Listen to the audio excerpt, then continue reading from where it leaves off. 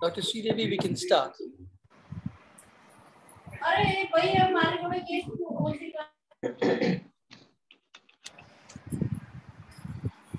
Dr. Sridevi, you're muted. You'll have to unmute and start the meeting. Yeah.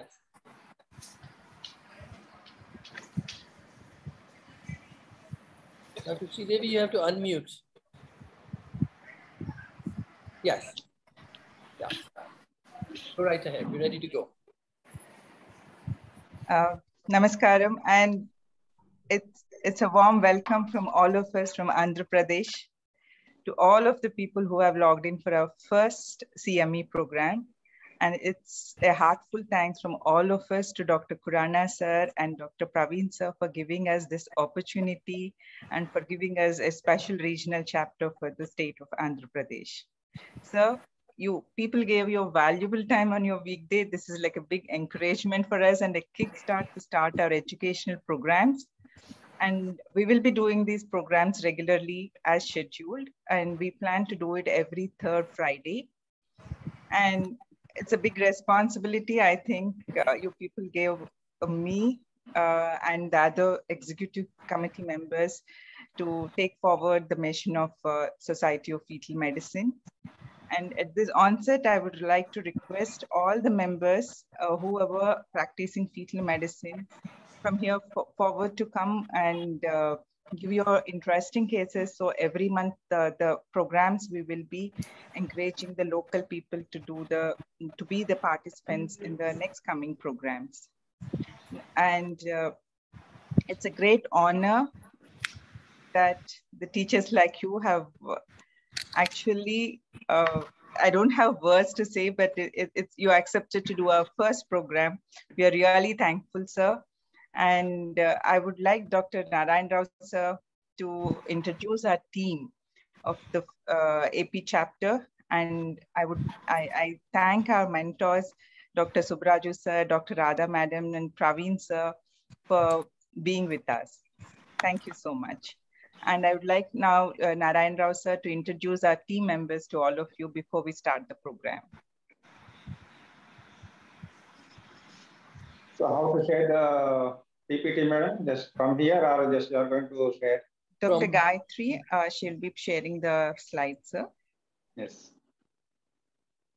Uh, good evening all. First, let me thank the, uh, our godfathers of SFM, uh, Dr. Khurana sir, Dr. Praveen sir, and Bim- Bimal sir, and uh, Naveen Mittal. And uh, uh, I, I thank our president, Dr. Sridevi madam, for giving me this opportunity to introduce our new team of Andhra SFM. Uh, first, I, I will introduce Dr.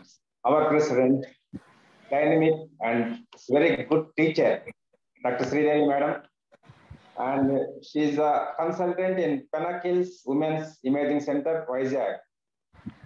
And she's a director of uh, Hyundai Ultrasound Training Program South and Foxy Ultrasound Training Programs. And she's fellow, uh, she's fellow in fetal medicine and diploma she, she, had, she did diploma in advanced obstetric ultrasound and diploma in fetal invasive procedures. And she is the president, I am the vice president, and I need not tell myself, and uh, everybody knows about me, I think. I'm Dr. Narayan Rao. I am from Palpal. I'm a consultant uh, ultrasound. Uh, and our dynamic secretary, Dr. Madhavi Lata, is MD gyne- gyne- gynecologist. She did in uh. As I'm just I'm getting the slides. And she is a clinical director and consultant in fetal medicine, Bishop Fetal Medicine Center, Vijayawada. And she uh, she awarded gold medals in MD Animal and uh, prize for fetal medicine genetics award at 26th AICC RCOG annual conference. And she presented so many papers on, and she was organizing secretary of SSM Vijayawada chapter November 2018 and time of June 2019 Vijayawada. And Dr. Savitri Dr. V. Savitri Madam. She is consultant at Sri Krishna Health Center, Visakhapatnam. She has done DNB and MS Gynec, MS Obstetrical Gynec. She did fellowship in obstetric ultrasound from Mediscan Chennai under Dr. Suresh Sir. She did fellowship in laparoscopy in 2018, presented papers in state and national conferences. Next, Dr. Gayatri Inla is MS postdoctoral fellowship in fetal medicine, Mediscan system. And she, she is director and consultant in fetal medicine. She is Lotus Ultrasound and Fetal Care Center, Kurnool. And she has so many academics, participated in research work and Indian Council of Medical Research, presented at regional, and national conferences. And she, she had published publications in so many journals.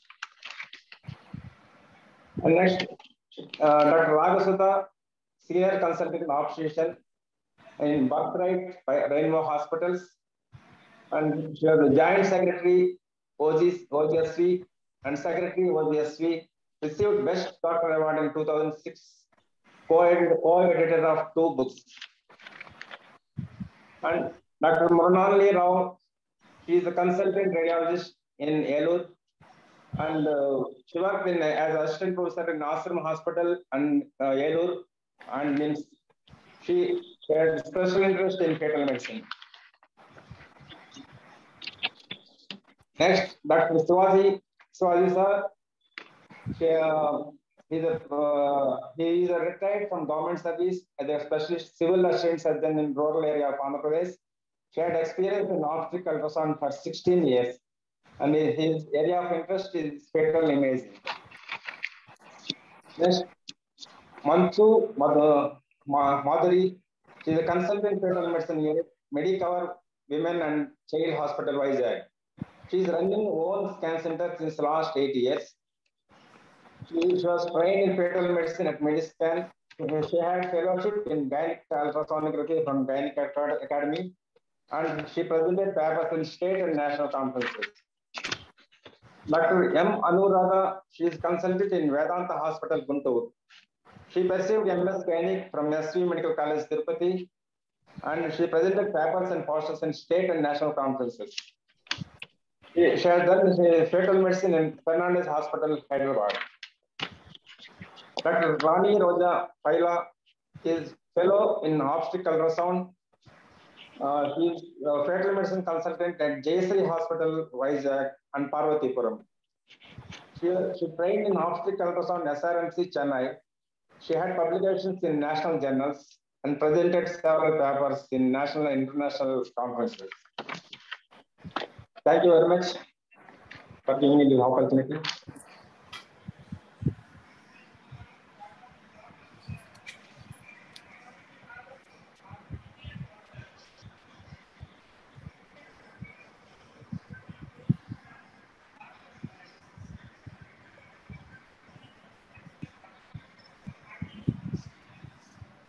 Uh, thank you, sir. Uh, Ma'am, can I go ahead with the introduction of our chairpersons, please? Yes, yes. Uh, so, uh, a very good evening uh, to uh, everyone present here today. Uh, it's with great pleasure and privilege I'd like to uh, extend a warm welcome to our uh, chairpersons who have uh, agreed, uh, in spite of their busy schedules, have agreed to be with us today. Uh, first of all, uh, uh, ma'am, can you see uh, the screen? No, No, No, I think you you need to share the screen. Sir, I'm already sharing my screen. was seen earlier, Gayatri. Un- un- Right now we are not Unshare seeing. and share again. Sorry, sir. Stop sharing and then share again. Okay, sir. And now I think, yes. you know, Yes, yes, now- We have gone back. Yes, Yes, now you, Is it fine now, sir? yes, good. Uh, so first, I'd like to uh, welcome uh, Dr. uh, K. Suparaj, sir. Uh, he has been a former uh, additional director of medical education and professor and HOD of uh, uh, um, of scan department at Andhra Medical College and civil surgeon at KGH uh, Vizag.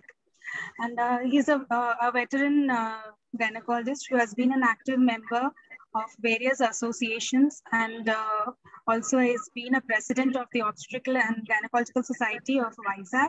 And uh, he has trained in uh, endoscopic procedures and also he's a life member of the Society of Fetal Medicine.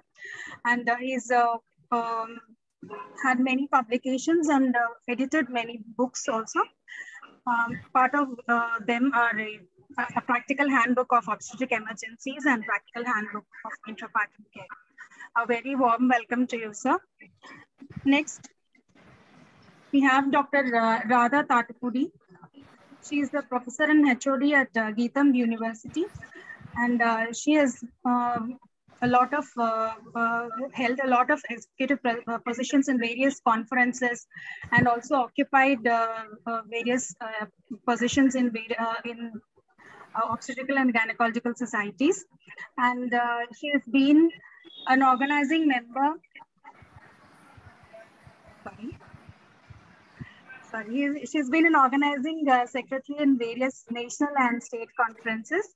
And uh, her fields of interest are uh, uh, especially preeclampsia, eclampsia, and medical disorders in pregnancy, and also uh, endoscopy and gynecology.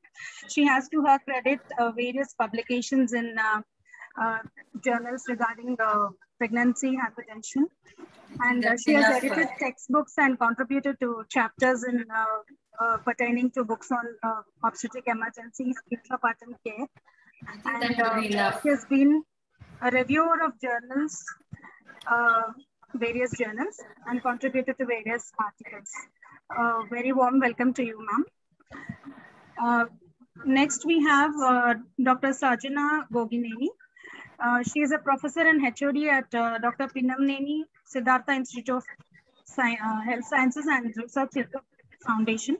She had trained in ultrasound in Switzerland and she has to her credit many uh, publications in various national and international journals. She has conducted several workshops, uh, especially on vaginal hysterectomy, infertility, and management of uh, PPH. And uh, she has got uh, selected for BJOG finalists for the research work in anemia in 2017. And she has authored many, many books, especially in endocrinology, in obstetrics and gynecology and again in uh, placenta and hormonal changes in pregnancy. Uh, so again, I uh, welcome uh, each and every of our uh, chairpersons uh, to be present here with us and to chair this particular session. Welcome you all, welcome sir. I now request Dr. Radha ma'am to introduce our speakers, our first speaker for this session, please. thank you. Good evening.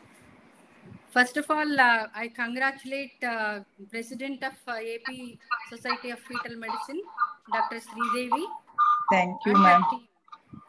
And her team for starting the uh, AP chapter of Society of Fetal Medicine.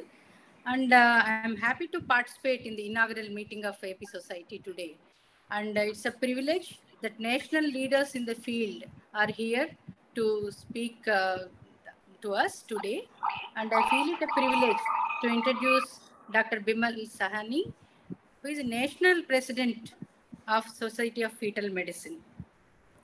He is currently Director, Sonoscan Center, Aurangabad, and he is Academic Coordinator, Scholar, MD Fetal Medicine Training Program, and he is a specialist in radiology, and he co-authored second trimester guidelines of the Society of Fetal Medicine.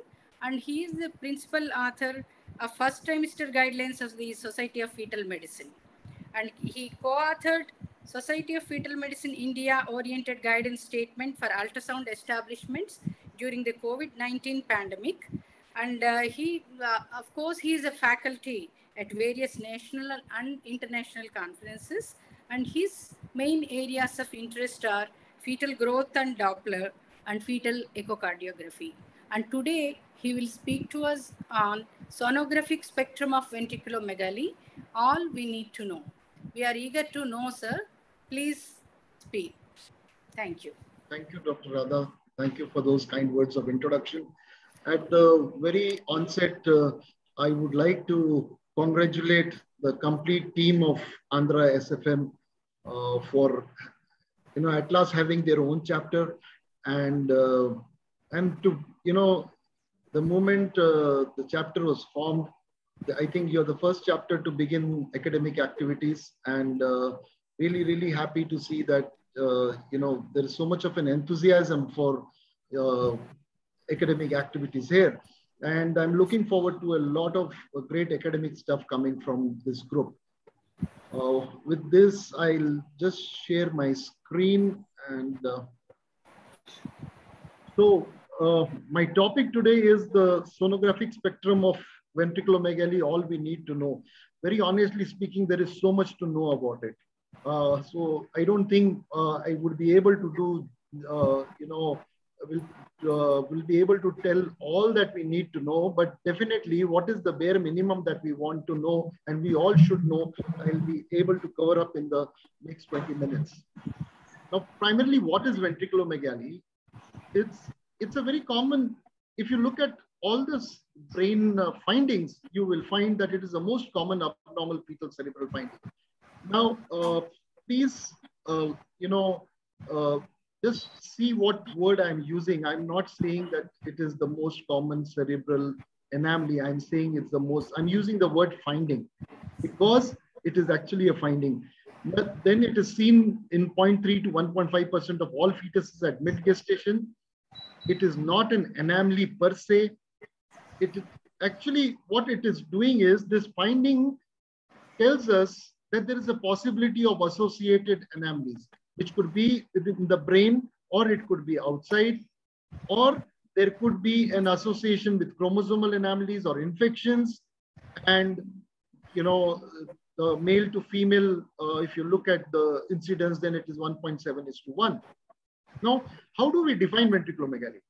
There has been, uh, you know, we've gone through a lot of different stages where different, uh, you know, definitions have been used. But there is one universal consensus now that we will define ventriculomegaly when the axial diameter of the atrium of the ventricle, the you know the atrial width is greater than or equal to 10 millimeter. Now, normally the atrial width is around 7.6 plus or minus 0.6 millimeter. So 10 millimeter actually is three standard deviation. So uh, you know, anything which is equal to or greater than 10 millimeter is what we will label as ventriculomegaly. Now we used to use this that there is a separation of three millimeter of the choroid, you know, choroid plexus from the medial wall. Now that actually now does not fit into the definition, but that definitely helps you in subjectively seeing that there is something wrong there and then uh, go ahead and do the measurements the first and foremost thing that one needs to do is to confirm whether ventriculomegaly is in fact present. The, at least 50% of the patients who are referred to me for a mild ventriculomegaly actually do not have a ventriculomegaly at all. Because, so that is the, it's very important that we need to follow an, uh, a clear-cut criteria when we are about to measure. So you need to have the head in an axial plane, the image should be magnified so that only the head is seen. The focal zone should be at the appropriate level. And then you should be able to see the atrium and the occipital horn very clearly.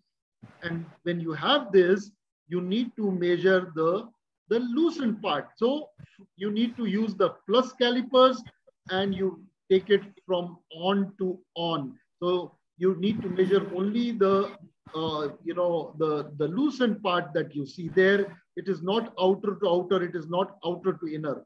Now, this actually is the true measurement of the lateral ventricle, the atrial width. Once you have the atrial width, you need to classify whether it is a mild ventriculomegaly, a moderate, or an overt or severe. And for that, in between for a few years, we had gone back to 10 to 15 as mild and greater than 15 as overt. But then the current literature in the last three, three, four years has again been telling us that let us classify them as 10 to 12 as mild, 12 to 15 as moderate, and greater than 15 as overt or severe ventriculomegaly, because the outcomes with a 10 to 12 and 12 to 15 are a little different. And so we go back to our old classification which is 10 to 12 as mild, 12 to 15 as moderate, and greater than 15 millimeter as overt or severe ventriculomegaly. Then you have to think of what all could, as I said, it is just a finding. So it is telling, it is a starting point. It is telling me that I need to look further. So what all things, you know, what is the etiology which will help me go ahead with my examination? Now, the most common of them is associated CNS structural anomalies.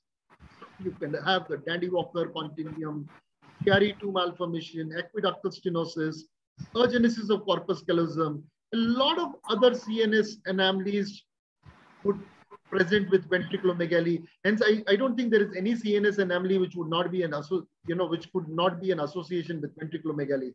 Hence, you need to go ahead and look at the brain in great details.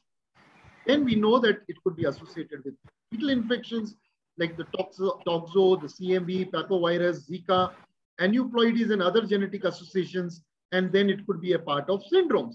Now, once we have the etiology in mind, then we think, how am I going to approach this? So first and foremost, I'm going to look for other intracranial abnormalities. Then I will look for intracranial findings, which could then suggest a possibility of infection or hemorrhage.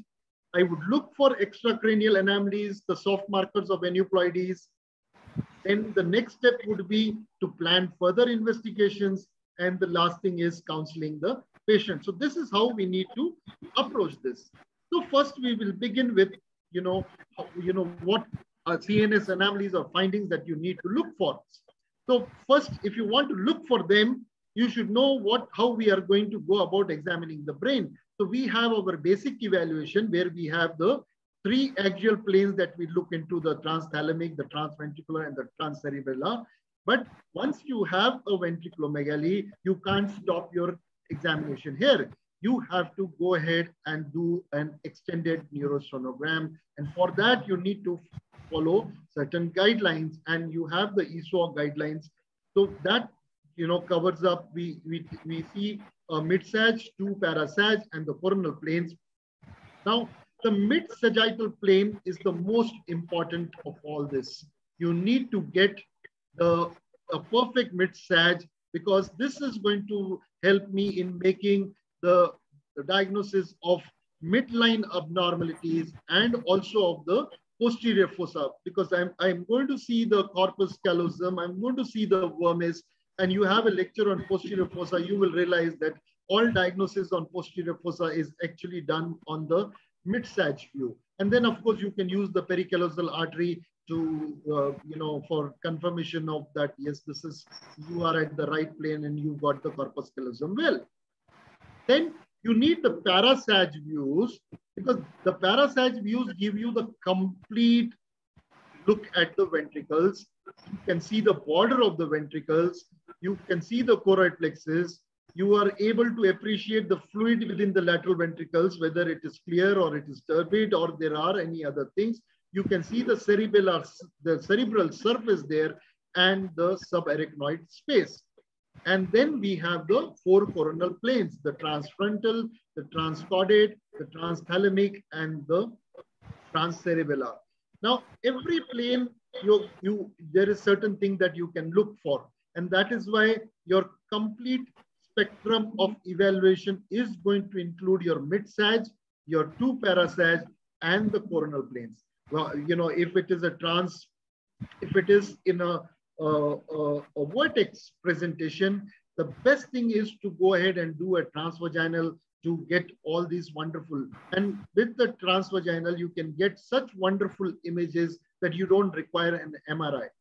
And then, if, but if it is in a breech presentation, then you, you can go transfrontal and then go ahead and get all these views. And then there is a huge checklist that you have to look for. I don't have time to go through all these, but then I will speak to you only on certain specific things. So first and foremost, I start with, when I look at the head, the biometry is the first thing that I do. So biometry itself at times gives me a clue because the biometry may tell me that, yes, okay, the head perimeter is looking very, very small. It is falling less than two standard deviation or three standard deviation below the mean. At this time, when I look at the cranium, I may see some defects in the cranium and encephalocele. Now, all these things would probably will give me a clue towards, you know, a possible cause for ventriculomegaly.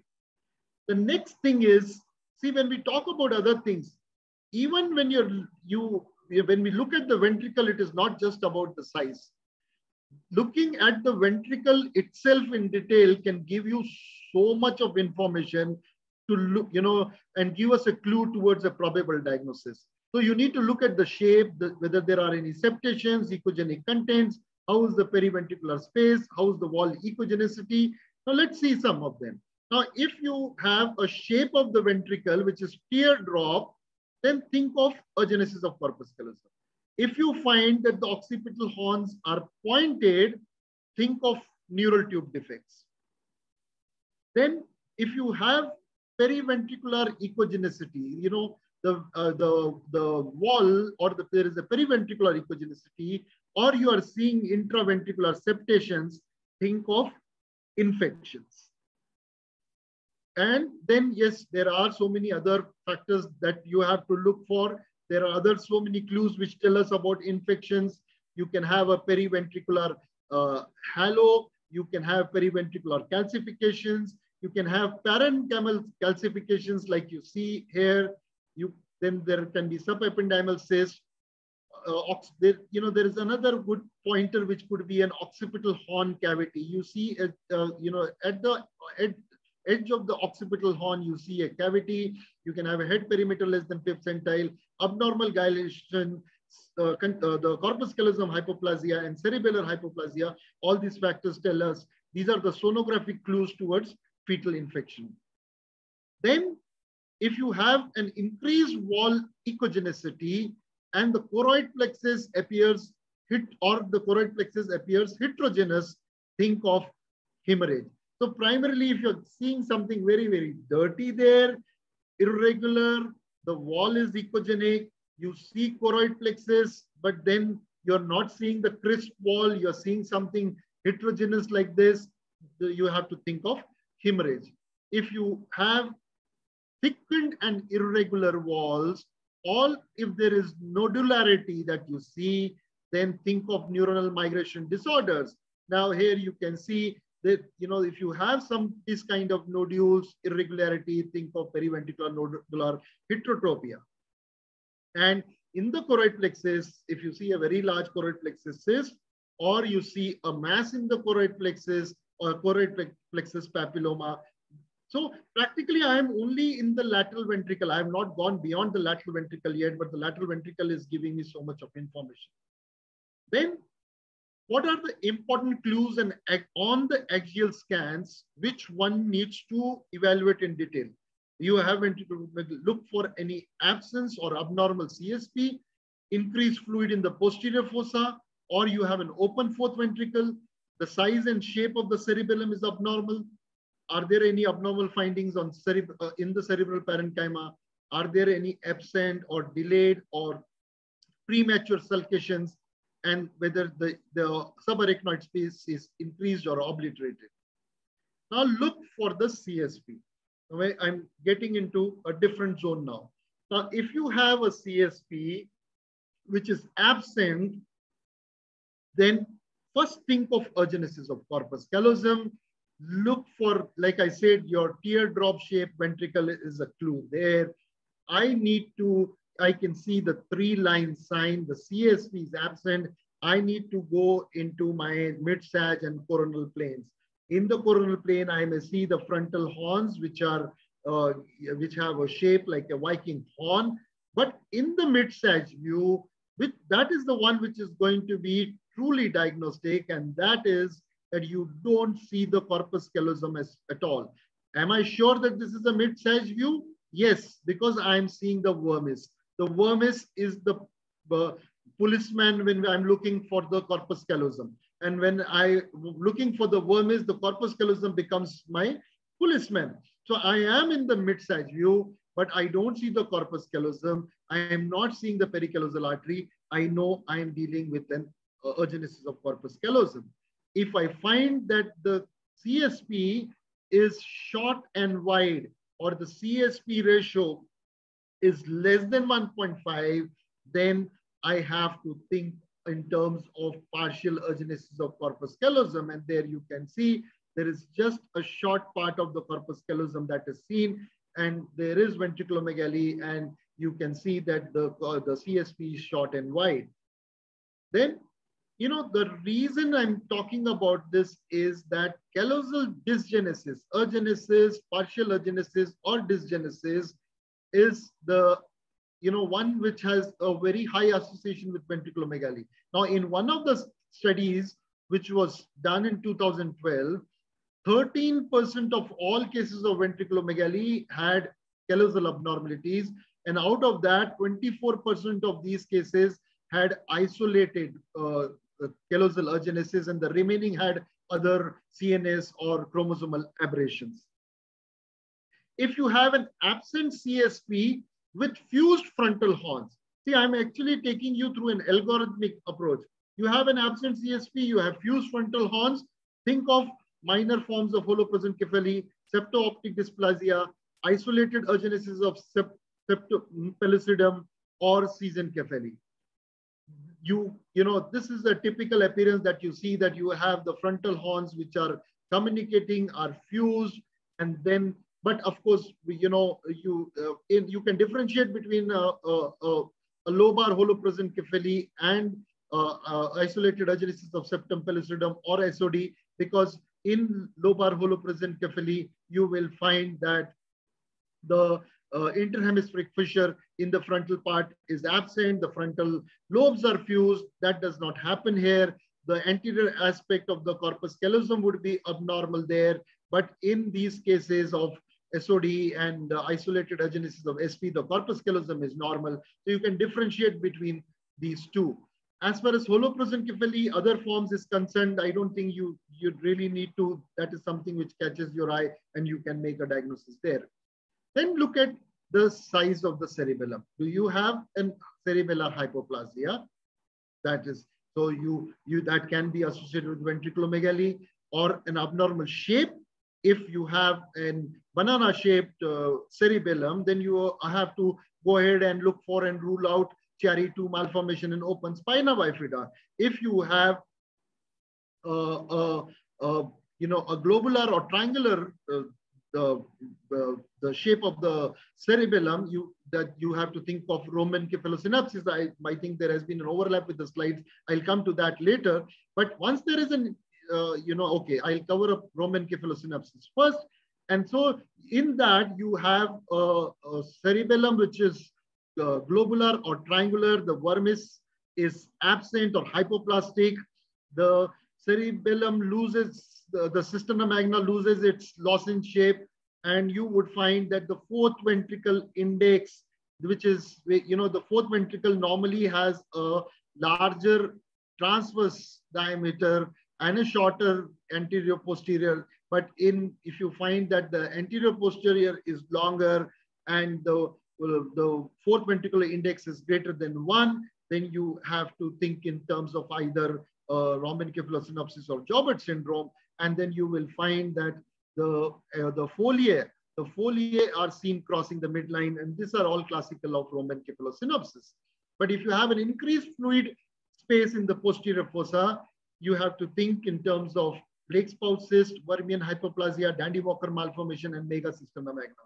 I, I'm not going into the depth of this because we have a complete lecture on the posterior fossa later.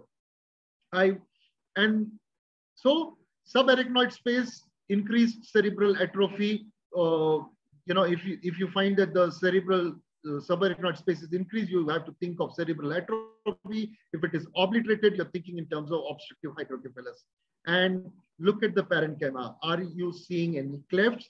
Are you seeing any uh, cystic lesions like the porencephalic cyst or you have clefts like in schizencephaly? Are there any tumors or bleed or there are infection, you know, calcifications that you see in infections? And then you should know the complete spectrum of, you know, various sulci and gyri. What stage can you see? what is their, uh, you know, uh, how do they look at what gestation? You should have a complete chart. Then only you will be able to say whether the there is a delayed sulcation or there is a premature sulcation, which suggests polymicrogyria. And in obstructive hydrocephalus, which you know you have an aqueductal stenosis, the commonest cause, where you have a severe ventriculomegaly, a large head circumference, then you can have effacement of the sulci, and you will find the third ventricle which is dilated, but the fourth ventricle looks normal and the choroid plexus would be seen dangling. What about unilateral ventriculomegaly? It's not very rare, but once you have it, you have you can think of partial agenesis of corpus callosum, infections, or maybe, but you know, you have to treat it like this. Though there, there are studies now which say that yes, the incidence of chromosomal anomaly was 0% and congenital infection was 8%. And all these factors pointed out that yes, this could be, you know, the neurodevelopmental delay was just what it could be in any other pregnancy. But we just can't uh, shirk it off and say just because it is a unilateral, we are not going to take care of that. As far as asymmetric, we say asymmetric ventriculomegaly when there is a difference of two millimeter between the lateral ventricles. And you can, uh, you know, what is worse, uh, the symmetric are the ones which are associated more with CNS abnormalities, but asymmetric could be worse because they could be associated with ischemic events or post-inflammatory could be the causes in this. Look for extracranial anomalies and soft markers of aneuploidy. You need to uh, do a complete detailed scan. And once you have done all these, you have ruled out soft markers, there's no other anomaly, you can say that this is an apparently isolated mild ventriculomegaly. I'm not calling it as mild ventriculomegaly. I'm saying it's an apparently isolated mild ventriculomegaly or it's a sonographically isolated mild ventriculomegaly. Now this could still be associated with aneuploidy. We need to do further testings. Could be associated with fetal infections. Probably we could not see any signs there. It could be a, you know, a subtle indicator of certain cerebral lesions which we could find later in gestation we know that brain development and things keep taking place, or then isolated ventriculomegaly may be associated with other fetal abnormalities overall, which, uh, you know, which will probably get, uh, uh, you'll be able to see later on in pregnancy also. Overall risk of false negative diagnosis is 12.8%. Should an MRI be done for every fetus? It offers you marginal, it all depends upon a good ultrasoundologist, uh, you know, would require less amount of MRI. If you are doing wonderful transvaginal neurosonogram, you would uh, not require it much. But yes, in certain conditions, it's a problem solving tool. When you have very poor sonographic penetration, you may require it.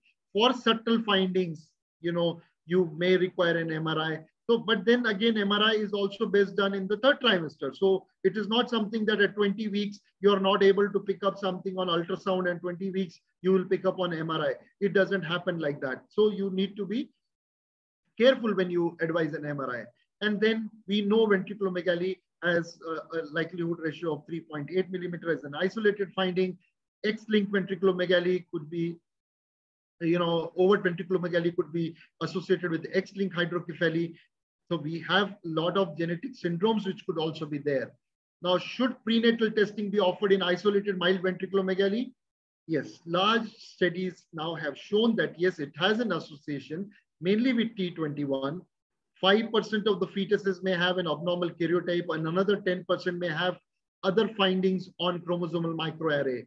So we, yes, but then we really don't know the true incidence because tests, uh, you know, these studies have been done in different populations, different protocols, but prenatal testing needs to be suggested. Uh, we forget on this and we need to screen for fetal infections. Maternal serology is the primary thing that we do. If you're finding some other findings, you can go ahead and do an amnio and PCR for CMV and toxo. Ventriculomegaly has a natural history in 34%, you can get regression. In 56%, it remains stable. And in 16%, uh, it may progress. Now, if it regresses or remains stable, the risk of neurodevelopmental delay is less. But if it progresses, then the prognosis becomes poorer. And uh, how do we handle it? So I'm just coming to the close of it. You diagnose ventriculomegaly. you have an atrial width greater than 10 millimeter. Then grade it as mild, moderate, and severe. Do a detailed scan for cranial and extracranial anomalies, and then you you say that this is apparently isolated and counsel the patient. Tell them about the need of a genetic consult. Tell them about the need or association with uh, uh, aneuploidies and uh, infections. MRI, you may, if you require, then again counsel them after all this has been done and then do serial evaluation to look for progression. And again, you need to counsel. So you're actually counseling at three times. And uh, we will quit. So I would end with some messages. Identifying ventriculomegaly is just the starting point, my dear friends. You know, ventriculomegaly should not come as a diagnosis in the impression. Your diagnosis is going to be something else. A detailed scan to rule out intracranial and extracranial anomalies, we know it can be associated with so many other things. Parents should be informed about the possibility of progression and associated anomalies. 7 to 10% of fetuses with isolated ventriculomegaly are found to have other structural abnormalities on examination after birth. We need to keep this in mind and in a very, very subtle way inform this also. But remember one thing that isolated mild ventriculomegaly, which is not progressive, is likely to have an excellent prognosis and a good outcome with normal developmental milestones. So ventriculomegaly is just a finding, not a diagnosis. Isolated ventriculomegaly is a diagnosis of exclusion. So you have got to exclude things one, one, one, one, one, and then you say this is isolated. Hence, you need to do the best possible and make sure that it is isolated before you tell the patient. Yes. Thank you very much. Thank you, Dr. Uh, Bimal Sahani, for a very authoritative and passionate presentation. It's a great responsibility of fetal medicine specialist to objectively assess the abnormality and differentiate it from the normal variant. Once it is diagnosed as abnormality, then the grading of severity of ventricular ventriculomegaly and identifying other associated abnormalities as another task. Obstetricians are happy that fetal medicine has emerged as a uh, great specialty and uh, we obstetricians appreciate that uh, the, because our responsibility is shared and shifted to fetal medicine specialists. Thank you for the great talk. Thank you. Uh, organizers will uh, ask questions from the chat box or uh, somebody will Mm. The audience interaction is at the end of the program today. End of the program. Yeah. Yeah. Okay. It's, it's slated for 9 9 15 onwards. Yes. Okay. Thank you.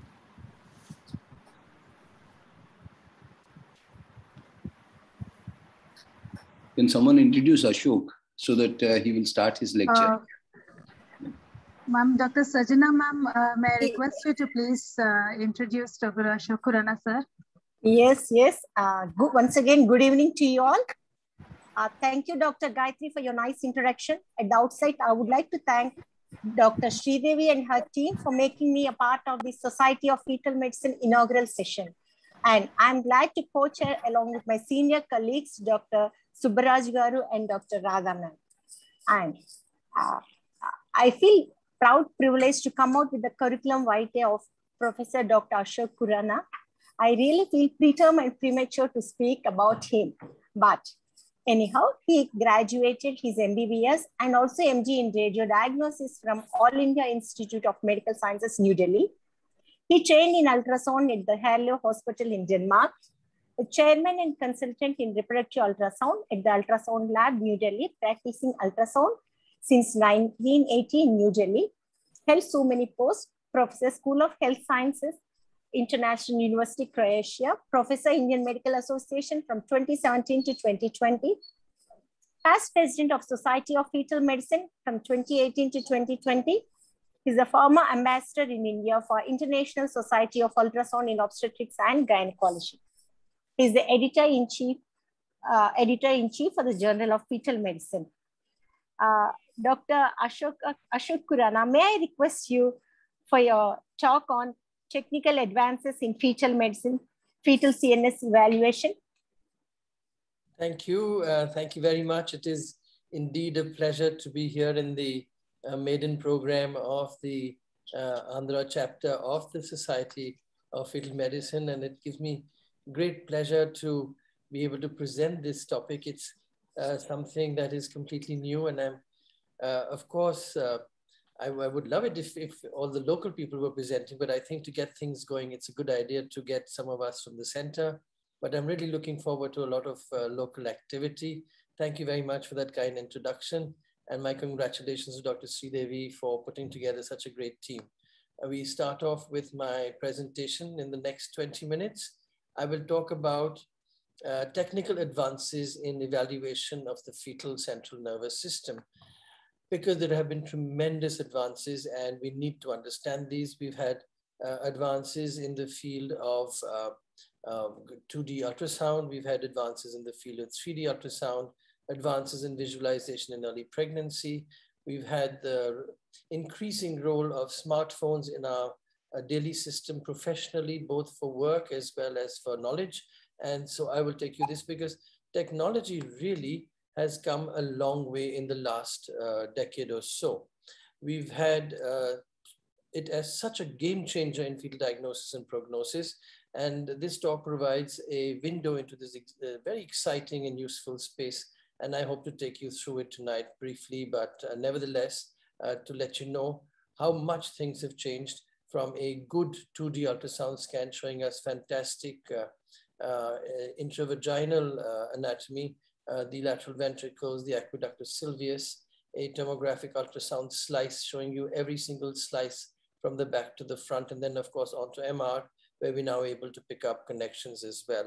So I'll take you through transducer technology, the role of 3D and 4D, how we handle um, cases right from seven weeks onwards, and especially the 10 to 14 weeks window and most importantly, guiding the geneticist with a detailed phenotype. We know that the phenotype today has to guide the genotype. There's just too much in genetics today that we'll say, okay, we will do this test and get the answers. No, we have an array of tests, starting from a QFPCR to a karyotype to a, a, a microarray to a genome sequencing, exome sequencing, and so on, or just a group of genes. And the more we give on a phenotype, the more we get out of a genotype. And technology is helping us to do that. We also have guidelines. We have new guidelines, which I will introduce you to. Uh, artificial intelligence, which is now here to stay. A slide or two on MRI, because uh, there's not been really that much anything new. It's now just uh, technology that is here to stay. And of course, knowledge, because um, knowledge has changed. And that is part of technology. We now get access to this knowledge uh, because of our access to the internet. So let me start right at the beginning without wasting further time. The first big jump that has really come about is the routine use of tissue harmonic imaging. And you can see the difference in the edges that you see in this image here and the edges that you see, say, in the far side of the cerebellum here. You can actually see the edge very clearly. And this business of getting much clearer, clear images is something uh, that was the first big step towards technology in routine ultrasound imaging. Harmonic imaging is now just a touch of a button and there is no big deal thing to it. The other good thing, of course, is the maturing of the balance uh, between transabdominal and transvaginal scans. We get excellent views uh, today with high frequency transabdominal transducers and a lot of the times uh, uh, the transvaginal scan may not even be required. Also, it is difficult to manipulate. So if you have something like a high frequency single matrix firing transducer like the C2-9, like I've shown here, you can actually do almost all your work transabdominally. However, if you do not get as much anatomy as you want, or in case there is a clinical pointer, an ultrasound pointer, or it's a second opinion uh, study, I would still suggest we go ahead and still use transvaginal uh, uh, studies to make sure we identify as clearly as possible. You, you can see how nicely you can see every bit of the fetus, even with the transabdominal scan.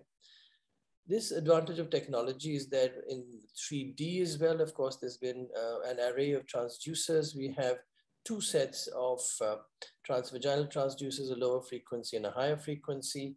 We have non-3D transabdominal transducers, standard 3D transducers, and of course the matrix transducer. And so we've really moved on and reproduced for ourselves in real life what Leonardo da Vinci actually thought of as a uh, fetus in utero. We realize now, of course, that this kind of an image is too advanced a fetus. What we do when we do uh, see this image, it's usually in a 12 week fetus sitting inside there. And you can see the details that you can pick up, including a cystic hygroma sitting here at the back of the neck. You can then go on to actually use newer 3D technology whenever you see anything abnormal to realize that this is not really a cystic hygroma, that this is a gap in the bone, a wide gap in the bone, a soft tissue gap, and that the usual anatomy of the posterior cranial fossa that I would have anticipated at 12 plus weeks is lost. I don't see a, um, a cavity of the rhombencephalon. I see instead something here like this. And when I work on this a little harder, I get more outlines. This is called the silhouette mode. I'm able to identify that, yes, there is much more wrong with the entire ventricular system. And when I go into the details of this case, I realize that, yes, a transvaginal scan shows a bump on top of the head here and a bump coming at the back. And importantly, I'm demonstrating a molar tooth at the time of the 12 weeks and four days scan, which means that this is Joubert syndrome.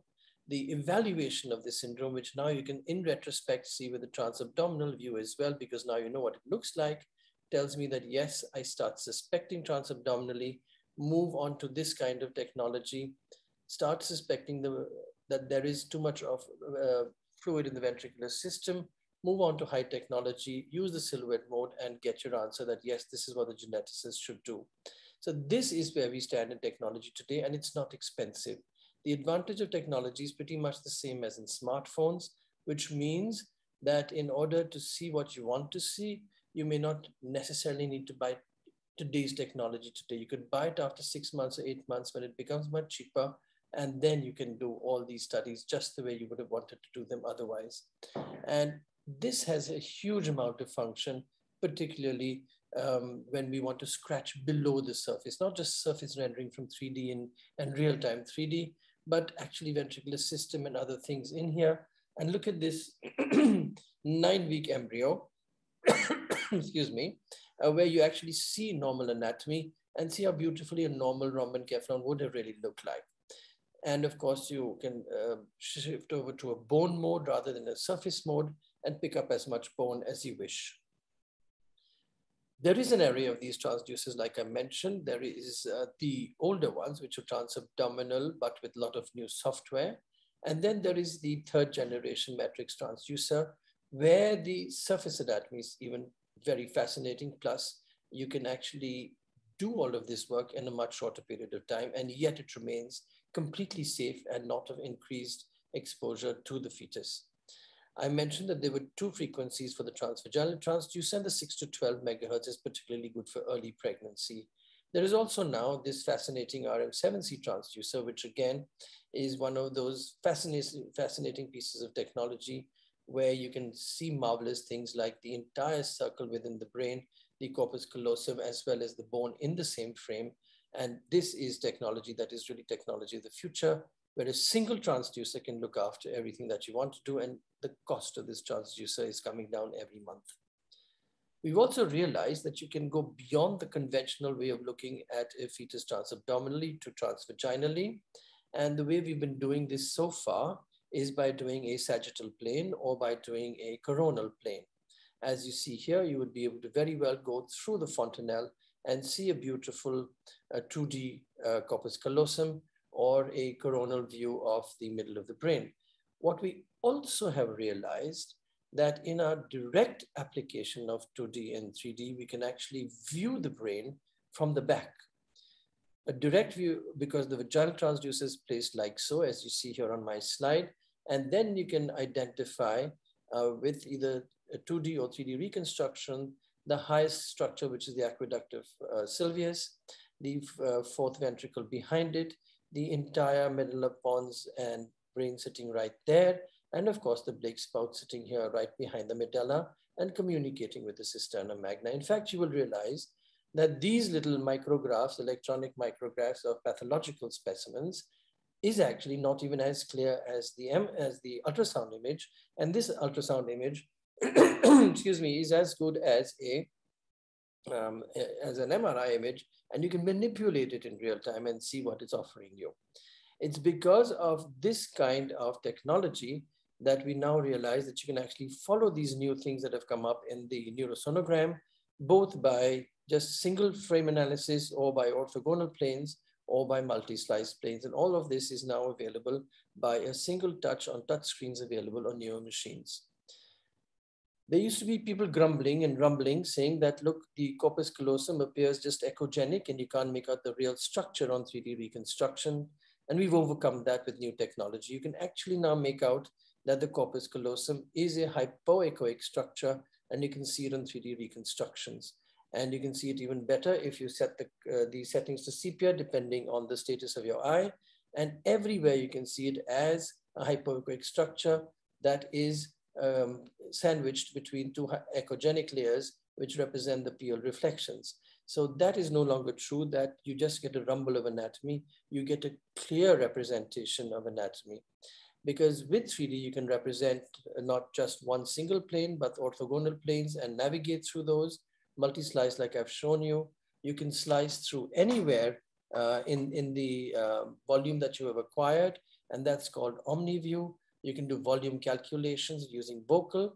You can acquire color and grayscale together and reconstruct those. And of course, you can do a 3D rendering to better demonstrate anatomy, which clinicians would better understand, neurosurgeons would better understand, and the patient would better appreciate. So this has been the great advantage of technology at a very basic level. What we've also succeeded in doing is to realize that now we can look at vascularity also with great fascination and that in a mid-sagittal view, we can see this junction of the superior sagittal sinus very clearly with the straight sinus and that this junction represents the torcular herophili. Our biggest problem so far in differentiating between vermian agenesis and Dandy-Walker malformations was the inability on ultrasound to identify the exact location of the torcular herophili. And this can now be done um, both in, uh, in 2D as well as in 3D, and 2D is equally good with this as long as you get a good vaginal view. How do we use this information? It's from this marvelous article by Paolo Volpe, which appeared just a couple of years ago, where the group has clearly shown that in the normal fetus, there is a wide U representing the superior sagittal sinus on one side and the straight sinus on the other side. In the fetus with an open neural tube defect, you find that the U becomes a tight V, and that then is the marker for open spina bifida. A nice, simple way of actually figuring this out.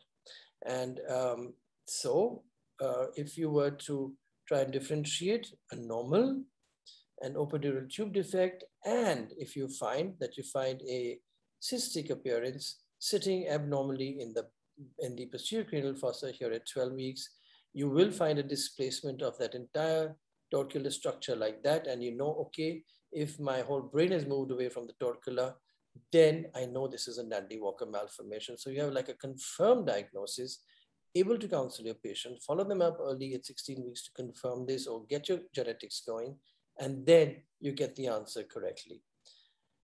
The other thing that we have learned to do, and this is uh, uh, a case from Dr. Mohit Shah that uh, I co-authored, and uh, we were able to get it to the cover of the White Journal, the Journal of the, the International Society for Ultrasound Obstetrics and Gynecology, to show that the difference here in technology is to demonstrate that this mass here is not a standard vein of Galen aneurysm sitting at the back of the supratentorial compartment, but something that has vessels coming in the back and displacing the rest of the brain anteriorly, which automatically then made it a dural sinus malformation and not a vein of Galen aneurysm. Not that this has any better prognosis, but at least we knew that this is what we were looking at. We could counsel our patient correctly and we could get a correct diagnosis uh, because of the fascination of being able to combine grayscale information with color information in what is now called uh, glass body imaging. We also have a great assistance in saving time when we do scans, and that's extremely important in busy practices. And you know that in India, we are always burdened with numbers. we now have touch screens with straightforward images like this that show you the transducer, show you the various presets, and you can choose one at the touch of a button and become more and more familiar. So for each transducer, you actually have a preset. Remember that there is automation that has also come along and uh, the OmniView I was telling about where you can slice anyway. All you do is to acquire a BPD plane, press one button called SonoCNS, and automatically the machine then builds the BPD plane. It builds for you the transventricular plane. And uh, have you lost me there? Or can you see me now? Are you able to see me and see my screen? Yes, yes, yes. Uh, thanks, Praveen. And so, yes, Jeff. thank you. So you're able to rebuild the trans, uh, uh, the, the BPD plane, the transventricular plane, as well as uh, the uh, transcerebellar plane instantly by just pressing a button. In fact, there is this realization that with the moving of artificial intelligence, we've been able to let the machine actually identify an area for you and say, yes, that this is the face, and you're looking for it in an abnormal CNS condition. And it tick marks off for you your checklist. You could either have a basic checklist or a, um, an advanced checklist. And all of this, the machine ticks tick marks for you because it is already programmed by artificial intelligence to handle this. And this has been on the market for two years already. In fact, all the 20 planes suggested by uh, ISUOG for uh, the uh, entire examination in the second trimester have now been included. And as you can see here, it includes a transventricular plane, a transthalamic plane, a transcerebellar plane, a profile sagittal plane, the orbits, and a nose lip view and a sagittal spine. And you can imagine how much that single checklist will tell you that, yes, this is it, and it will identify that you're in the right plane.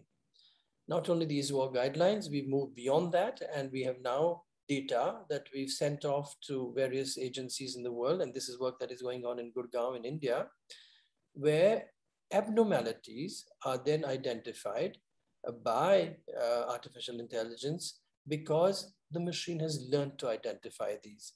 There's also been a work, a bunch of work from China, as you see in this uh, printed paper already from 2020, which came from China. And of course, like I said, we have some of this work going on in association with, with Oxford University, uh, with work going on in our Gurgaon facility.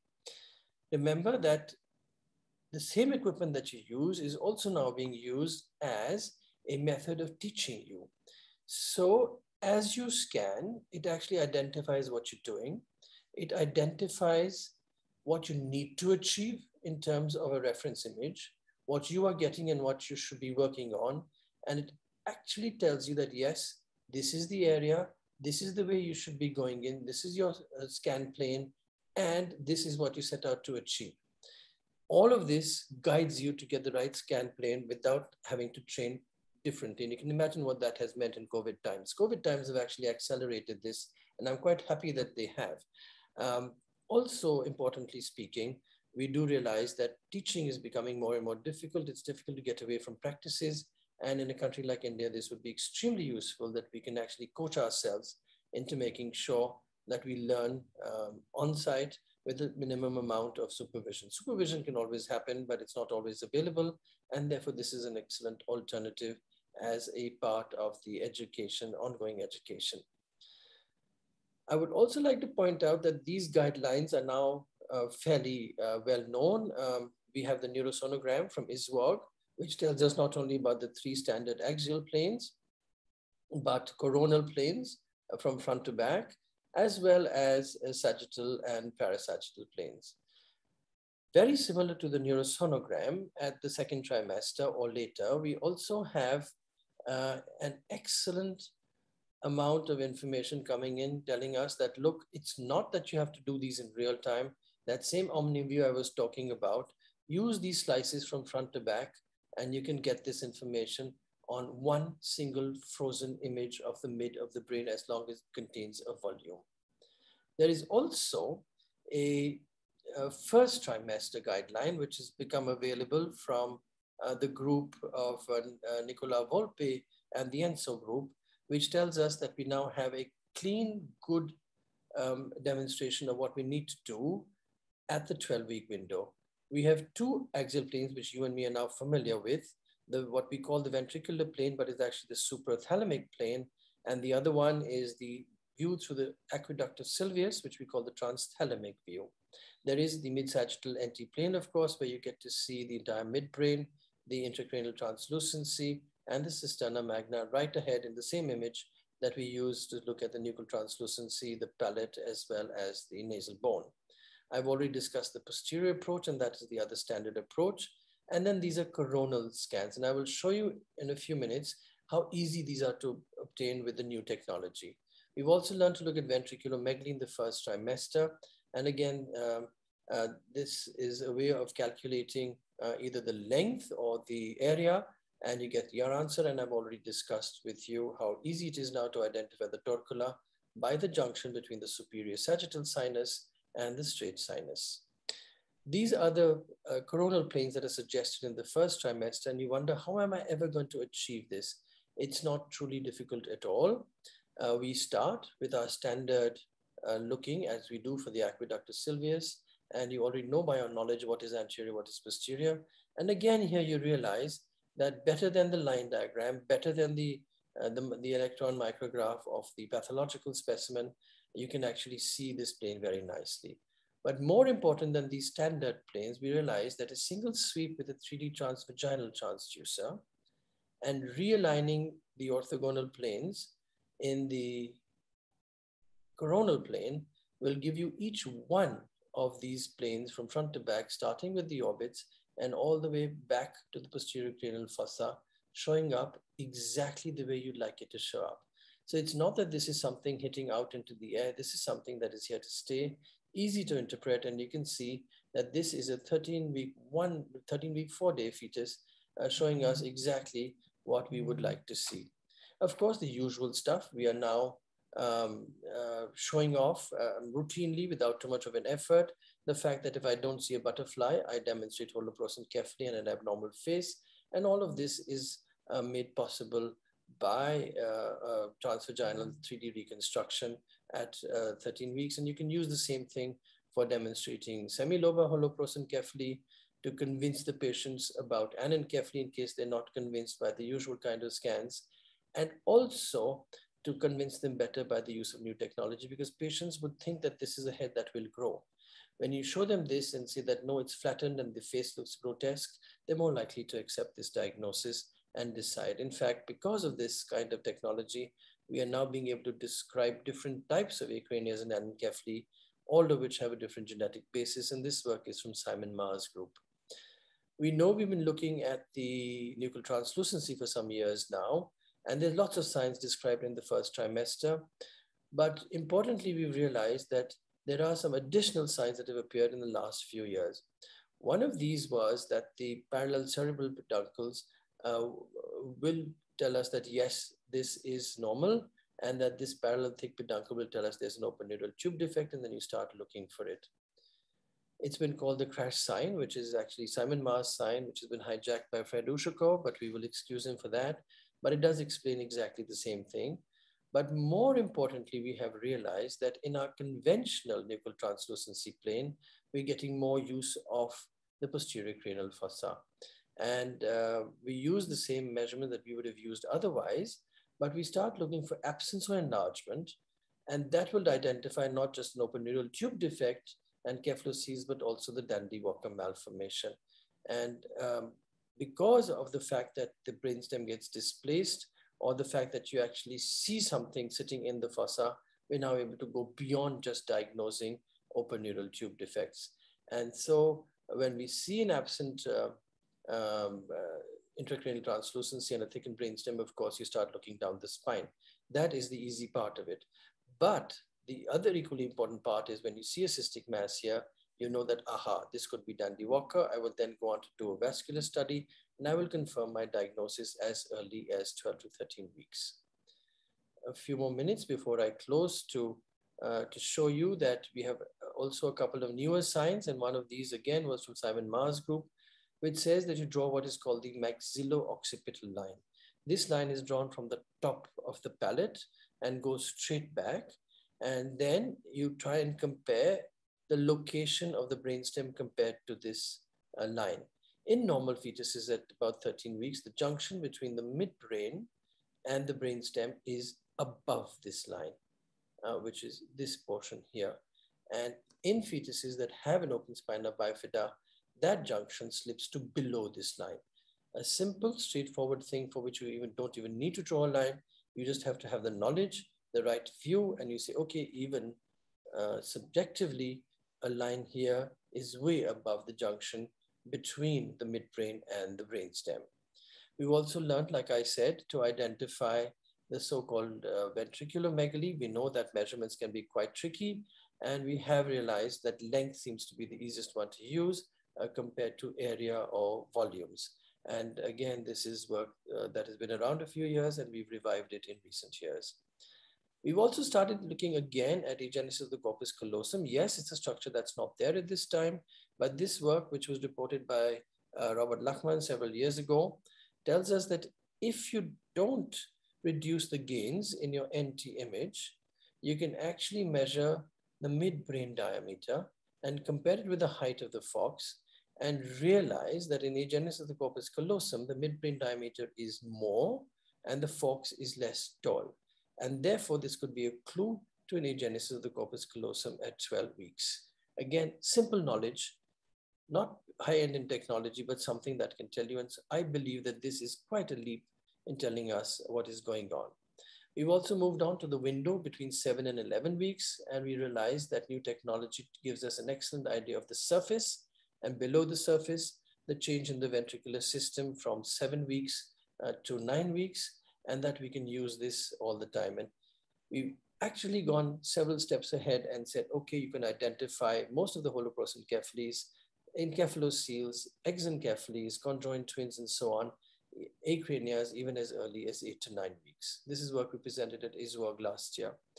We've also learned that there's normal variance at this time. For instance, a globular cavity of the hindbrain is not abnormal and is a normal variation, and that the aqueduct of Sylvius at 10 weeks is far more posterior placed than it is at 12 weeks. So that's the sort of work uh, that we're now able to do. Of course, people ask, what's the hurry? There is a hurry. Early termination of pregnancy is easier, safer, early reassurance to at-risk mothers, and a much longer window for genetics. Remember also that in these cases, the different case above, different below, reconstruction gives you additional information, which is far more convincing for the clinician. A word on MRI before we close. Um, we're now using three uh, Tesla and more, all of which are regarded as safe, but it remains a problem solving modality and far better after 26 weeks than before. For those of you who need more information on this, we have our Society of Fetal Medicine series uh, of um, on MRI uh, on the third Monday of every month, and it's a, it's free for all, and you can actually overcome this so that our lack of knowledge or or the accusation that lack of interest by radiologists is not letting this go forward will no longer hold true.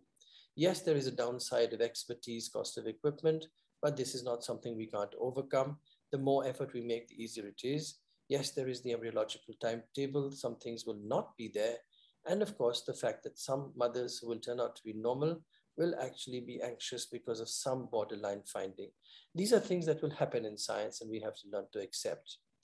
But I'd like to close with implications for daily practice. With this talk, I wish to emphasize that practicing obstetrician should be aware of what is available and utilize this technological progress. The greater the use, the lesser the cost. And we've seen this happen with things like NIPT and genetics in India. Imaging specialists should rapidly adopt state-of-art technology to facilitate diagnosis and prognosis, and geneticists should demand a detailed phenotype to facilitate optimal testing. And thank you so much for your attention.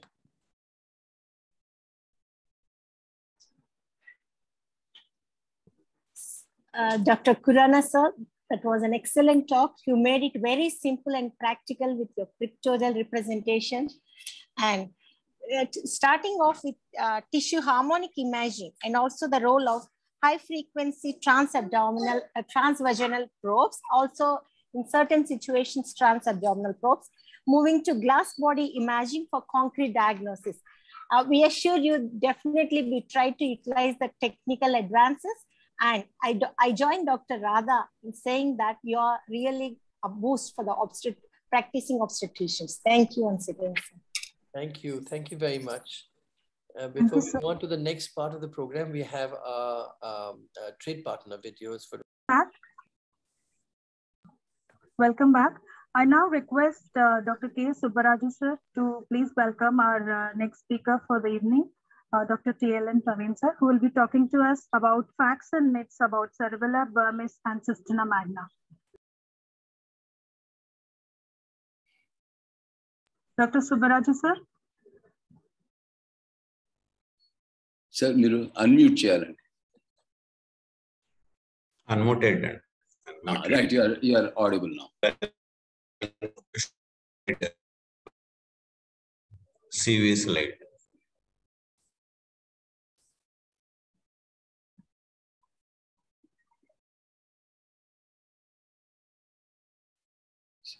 Subbaraju garu I think introduction అవసరం లేదండి Yo, sir, uh, please wait, sir. Gayatri, please uh, share the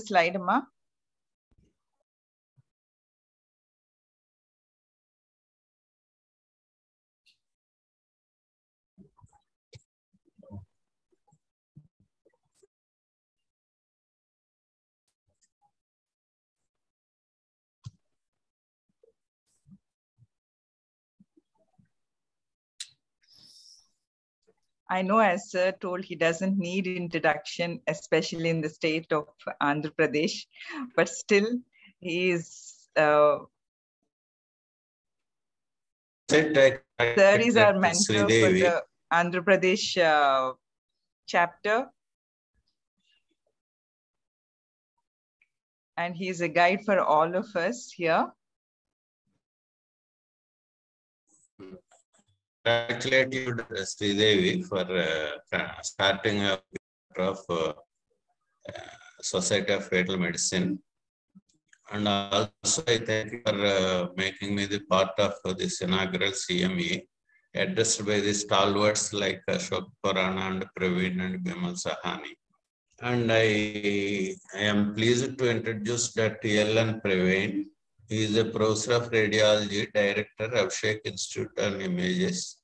He is practicing fetal medicine for the past 35 years. Passing, uh, his passion is looking at the fetus and performing invasive procedures. He is a teacher and training postdoctoral students, running and hiking other hobbies. And he had many awards for his credit certificate of excellence for uh, first coronary angioplasty in the country, appreciation award from FOGSI, Dr. Ashok Mukherjee Gold Medal for original innovative interventional procedures, Indira Priyadarshini Award for the year 2014 for scientific contribution in medicine, Lifetime Achievement Award 2018 by Tamil Nadu State he is published a chapter in the textbook of radiology and he has several publications. I also thank him for contributing a chapter myself, Dr. Radha and Dr. Alsuda. With this brief introduction, I welcome you, Dr. Praveen, to deliver your lecture and facts and myths about cerebellar vermis and cisterna magna.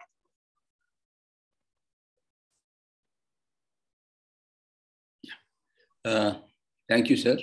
Thank you for that wonderful uh, one thing. This will stop for the screen sharing. Uh, okay. Okay. Uh, can I share? Uh, yeah, I'll share my screen. Thank you. Thank you very much, sir, for the, those kind words. And uh, I congratulate SFM AP team for organizing this webinar on CNS, their first webinar. And I'm sure it's really heartwarming because uh, we know that there are so many people whom we know and we have been practicing fetal medicine uh, throughout the state. And now it's an opportunity for all of us to showcase your, uh, your abilities, your, your cases so that it gets national recognition. Now, with these few words, I would like to thank the center, Dr. Ashok Khurana and Bimal Sahani, for uh, giving uh, this opportunity for the AP SFM state to organize this webinar. Today I will be talking to you about uh, the myths of vermis. Now, when we talk about the vermis, actually the vermian abnormalities are uh, quite rare. But unfortunately, the development of vermis extends over a long period. And thus it makes it vulnerable to various malformations and disruptions. Uh, and ultrasound is the most important imaging modality, which is used in screening and evaluating various posterior fossa tumor lesions, and particularly the vermis. Now, uh, ultrasound can be used in evaluating posterior fossa transabdominally or transvaginally.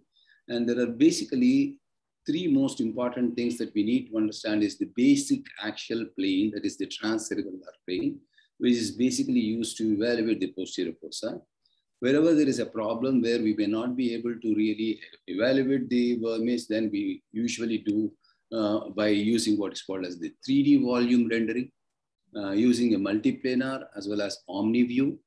It can be done both transabdominally or as well as transvaginally. And then the, uh, the advanced neurosonography, which quite often is done transvaginally, but sometimes transabdominally, where we try to evaluate uh, the fetal brain, particularly the posterior fossa, in the coronal sections as well as the mid-sagittal sections. Now, fetal MRI is uh, coming up in a great way, particularly in the posterior fossa lesions, um, particularly when we start using fast as ultra-fast MRI sequences, which provide higher tissue contrast as well as spatial resolution. Now, I would like to just take you through these images where we can see the vermis at different stages or different gestational age. This is the 10th week of uh, the embryo where we can see the plica choroidae. And at 12th week also still we do find the plica choroidae, above which uh, is the, uh, the area of area membranous, uh, membranous and then the uh, anterior area membranous and the posterior area membranous. And the anterior area membranous is the one which develops into the vermis. You can see the vermis right from 14th week if when you do a transvaginal sagittal section of the posterior fossa. And at 16th week, you can still further develop, see the vermis in much more clarity. And by 20th week, we almost get the whole of the vermis, both morphologically and biometry also. This is the MR sections of the fetal brain, particularly showing the midbrain as well as the hindbrain. So this is the information that one can obtain by doing a proper transvaginal examination of the posterior fossa. Now, over on the key facts which we are going to deal with are the knowledge of the posterior fossa development. One need to understand the normal imaging patterns, that is the morphology as well as the measurements at different stages of embryogenesis. A large spectrum of posterior fossa abnormalities um, uh, which are going to be dealt with and their clinical implications, use of ultrasound and MRI in, in evaluating these, these posterior fossa lesions and the posterior fossa structures are basically assessed by taking a basic transvaginal, trans, transaxial cerebellar plane, as well as the coronal and the mid-sagittal sections.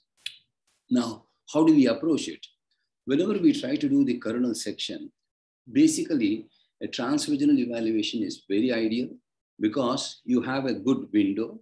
There are two windows which will be of great help in evaluating the posterior fossa. One is the anterior fontanelle, even though the, most often the anterior fontanelle is used to evaluate the anterior complex, whereas uh, this can be tilted posteriorly so that you get this sort of a coronal section of the fetal brain where you can see the owl's view appearance, where you can see the, uh, the occipital horns of the uh, uh lateral ventricles, cerebellar hemispheres. You can see the cerebellar hemispheres on either side, which are dumbbell shaped or figure of eight shaped and then the echogenic vermis is very, very clearly seen. Whereas once you use the, the posterior fontanelle, this is the anatomy that you can demonstrate. Now, when we are doing the transvaginal examination, it is usually a bimanual examination. With your left hand, we try to manipulate fetal head in such a way that the transducer head is used to focus through the the, uh, the uh, window, the acoustic window, which is the anterior or posterior fontanelle. And in this one, you can beautifully see the, the brainstem, that is the mid, um, midbrain and hindbrain abdominal, uh, hindbrain anatomy, where you can see the tectum, you can see the aqueduct, vermis, fastigium, pons, and medulla oblongata. So this is the clarity with which you can evaluate the posterior fossa by using the, the posterior fontanel as a window. Now, the other approach is the axial and the mid-sagittal sutures, the anterior and the mid-sagittal sutures, which can be used basically to, uh, to evaluate the diencephalon mesencephalon junction, but it is, can also be used to, to evaluate the tectum and the quadrigeminal system, as well as the vermis to some extent. The posterior fossa, particularly the midbrain, is beautifully demonstrated when the fetus is in prone position by using what is called as the innominate suture window. These are the four approaches that one can take into consideration while evaluating the fetal brain, particularly the posterior fossa. Now with this, these are the three classical ultrasound and MRI planes that we are going to use in evaluating the posterior fossa, particularly for the vermis. As you can see, this, this is the classical transaxial plane of the transcerebellar uh, uh, axial plane, where you can see the cerebellar hemispheres, you can see the rectangular or square-shaped echogenic structure that is the vermis, and a small slit-like structure, which is lateral to lateral diameter is more than the AP diameter, and you can see the cisterna magna. Whereas this is the coronal section where you can see, as I already described, the cerebellar hemispheres and the vermis, and here in the, in the sagittal section, you can see the vermis. The same corresponding sections on MRI examination. Now, not only that, whenever there is a problem in evaluating these structures, we can always uh, Uh, mm, uh, mm, fall upon the, uh, uh the 3D volume rendering, where you can acquire the volume in the sagittal plane or in the coronal plane or in the axial plane. And they try to render the other two orthogonal planes to be namely the sagittal as well as the coronal, where you can see the tectum as well as the brainstem and the vermis very clearly. You can enhance the image by using volume contrast imaging. Not only that, you can use what is called as the TUI, that is the, the tomogram, sorry, tomographic ultrasound imaging, where you can take multiple sections, which gives us information. Now coming to E, each of the structures which I have already demonstrated or de described in the previous slides, these are the things that we are going to look for as far as the sagittal, coronal, as well as the axial planes are concerned. And there are six questions which we have to answer whenever we are trying to evaluate the posterior fossa. The most important thing is that the first and foremost thing is that the posterior fossa fluid spaces are the normal, enlarged, or reduced. That is one. Two is uh, the tentorium normally inserted and oriented. Cerebellar biometry normal. Cerebellar and brainstem morphology, is it normal or abnormal? Then we have the fourth ventricle whether its shape is normal, location of the fourth ventricle, choroid plexus are the other factors which will help us in diagnosing posterior fossa lesions, particularly the vermian abnormalities, and then the vermian morphology, biometry, as well as the location. So these are the factors, these are the questions that we need to answer in order to come to a diagnosis. And the answer will always lead us to the diagnosis of the posterior fossa lesions, particularly of the vermis. That's how you break the myth. Now, coming to the posterior fossa fluid spaces, enlarged and decreased. Whenever there is an enlarged posterior fossa, one need to think in terms of possible megacisterna magna or a posterior fossa cyst, and then the fourth ventricle abnormalities. This fourth ventricle abnormalities can be distorted fourth ventricle, elongated fourth ventricle, or a large fourth ventricle, which corresponds to a chromosomal abnormality or a posterior fossa cyst. Then comes the decreased one, wherever there is obliteration of cisterna magna, basically because of Arnold-Chiari malformation, which is uh, quite often seen in uh, open neural tube defects of the occipital encephalocele. Now, this is the classical example, and this is how we are going to measure the cisterna magna. The depth of the cisterna magna is always not more than 10 millimeters. Whenever it is more than 10 millimeters, we consider it to be a megacisterna magna, which as a whole, as, as such, has no clinical relevance because it does not indicate anything except that when this is associated with other features like vermian abnormalities or cerebellar abnormalities, we do give importance to this increased depth of cisterna magna. Then comes what is called as the obliterated cisterna magna. As you can see here, this is what is called as the banana sign. As you can see, you can fit the banana right into the cerebellar hemispheres, which is because of the traction from the card, because of the open neural tube defect, the, this, this uh, Arnold-Chiari malformation, the whole of the posterior fossa is pulled back, it herniates into the uh, foramen magnum, and that results in what is called as the distortion of the cerebellar hemispheres, which are normally dumbbell shaped or the figure of eight shape, they become banana shaped. Then comes the, the, the insertion and orientation of tentorium. This slide actually has been shown by Dr. Ashok also. This has been published in 2021 White Journal by Rabi and et al., where they have basically took two factors into consideration. One is the straight sinus. The second one is the superior sagittal sinus. Not only that this U is important, but also that we need to draw a line along what is called as the tentorium, um, brainstem tentorium angle. This is the brainstem. You know, this is the sagittal section which we all take for the nuchal translucency, where you can beautifully demonstrate the brainstem. And then you have the tentorium, which has been demonstrated because normal tentorium cannot be seen. Uh, and when, unless you put the, the color where you can see the torcular herophili, which has been formed by the superior sagittal sinus and the superior sinus. And this is the angle which gets obliterated. Normally it is acute, whereas when it becomes more than obtuse, that is more than 90, one need to think in terms of an open neural tube defect. And not only that, this U is again an important one, a wide open view and a, and a closed clamp view. So these are the things that will help us in identifying various posterior fossa abnormality based on the tentorium. Not only that, we all know that the tentorium will be elevated whenever there is a posterior fossa cystic space occupying lesion in the form of a Dandy Walker malformation. Now, next comes, the, this is the angles that have been described. Now, coming to the cerebellar biometry as well as the morphology, particularly when dealing with the posterior fossa, because there is a lot of alterations that takes place as far as cerebellar biometry and morphology is concerned in most of the Vermian abnormalities. In, in the normally developing fetus, the TCD, that is the transcerebellar distance, increases with gestational age.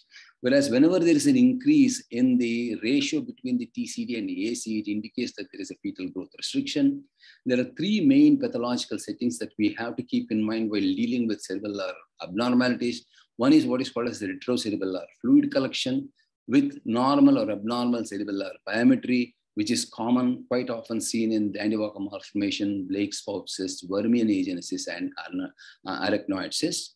Whereas there can be a partial or globally decreased cerebellar biometry, which could be because of cerebellar hypoplasia, agenesis, rhombencephalosynapsis, ischemic or hemorrhagic damages, partially or globally altered cerebellar echogenicity, that is, they become echogenic, particularly when there is ischemic and hemorrhagic damage that has taken place or capillary telangiectasia. So this is the normograms of the TCD, which at, at, at, various gestational age, which you can make use of in evaluating the, the transverse diameter of the, uh, the cerebellum. Now, a, a, few, a, a, simple word about the morphometry of the brainstem, because the brainstem can be very nicely demonstrated. And not only that, even though we are dealing basically today on vermis, it is also essential that we need to understand the morphometry of the brainstem. This is the midbrain. That is the aqueduct of stenosis. This is the pons and then the medulla oblongata, fourth ventricle vermis. So this relationship of vermis with the brainstem is extremely important to understand, which gives a lot of information in evaluating uh, or identifying abnormalities of the vermis. Now, coming to the shape of the fourth ventricle and location of fourth ventricle choroid plexus. Uh, there is a wonderful article that has been published in 2021 by Walpe et al where they have described the fourth ventricle as a rectangular in shaped in axial view as well as in the coronal view. The size of the lateral ventricle, fourth ventricle is lateral to lateral diameter is more than the AP diameter. This is an extremely important thing that you need to understand. This is the lateral to lateral diameter, which can be identified in axial as well as the coronal views. This is the AP diameter. It is always important to identify that the lateral to lateral diameter of the fourth ventricle is larger than that of the AP diameter of fourth ventricle then you get what is called as the, uh, the, the uh, ventricular index, fourth ventricular index. Um, it should be no more than one. If it is less than one, it indicates that there is a severe Vermian dysgenesis. Not only that, the choroid plexus of the fourth ventricle. As you can see here, this is the normal choroid plexus. You can see the fourth ventricle. You can see the, the choroid plexus uh, being uh, having a horizontal and a, and a vertical limbs which can be seen very clearly and which is seen abutting the, the fourth ventricular wall. Whenever you find that the, the choroid plexus are seen um, superior medially, that is superior um, um, and the upward displaced with a cystic area in the posterior fossa, it is a classical description of a Blake's pouch cyst. Whenever you find these choroid plexus within the cyst, you call it as a Blake's pouch cyst Whenever you find these choroid plexus outside the cyst, you call it, it is it's most probably a Vermian hyperplasia. Now, uh, uh, uh, not only that, whenever you have the, uh, the fourth ventricle choroid plexus outside, not only that it could be a Dandy Walker malformation, but also a Vermian hyperplasia. So these are, these are some factors which we have to keep in mind while evaluating the fourth ventricle, I mean the, the vermis. Now, Vermian morphology, biometry, and location are the three most common important factors which we need to consider while evaluating Vermian abnormalities. This is, vermis is the one which bridges the cerebellar hemispheres.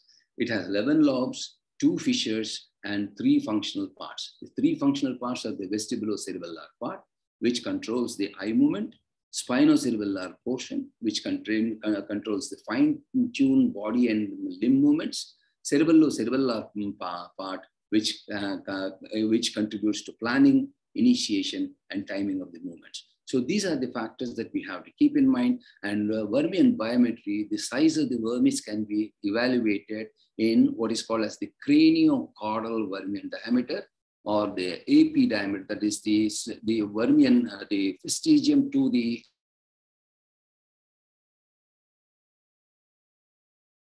vermian diameter as well as the vermian area as they change or dependent with the gestational age, we take into consideration the biparietal diameter and the ratio is calculated. If the vermian area or BPD uh, ratio is 1.1 is the normal cutoff. If it is more than 1.1, it is basically we are dealing with the Blake's cyst, whereas if it is less than 1.1, we are dealing with the Vermian hyperplasia.